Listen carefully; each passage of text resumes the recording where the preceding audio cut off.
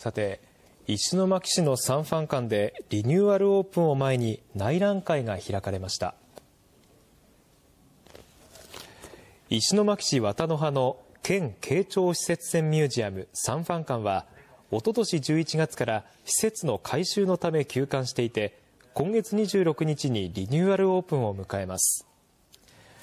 老朽化などを理由に解体された慶長県央施設線サンファンバウティスタ号の木造復元線は繊維強化プラスチック製となり全長14.2メートル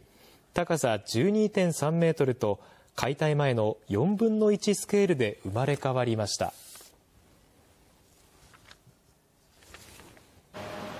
謁見を許されたのは長谷倉常長とルイス・ソテロの2人。長谷倉が着ているのは王や王族など最高位の人物に面会するための礼服。また展示室にはプロジェクションマッピングが設けられ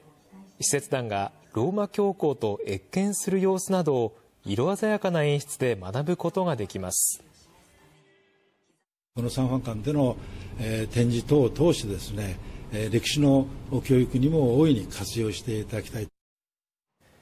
リニューアルオープン後は震災前よりも1万人多い年間7万人の来場を目指すということです。